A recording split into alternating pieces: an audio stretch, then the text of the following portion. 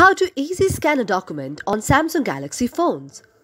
If you have your Samsung Galaxy mobile phone and if you'd like to easily scan a document on your Samsung Galaxy phone, just follow the following steps.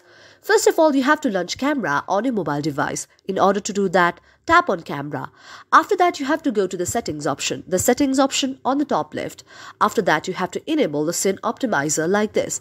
If it's disabled, you have to enable the scene optimizer. You also need to enable the square QR codes. After that, you also need to enable the options as shown here in the very screen. You have to check whether all of these options has been enabled or not. After that, you have to click the very document's photo which you want. You have to tap on the shutter white. After that, your very photo is clicked. Now, after clicking the photo, you can go to the pencil icon out there.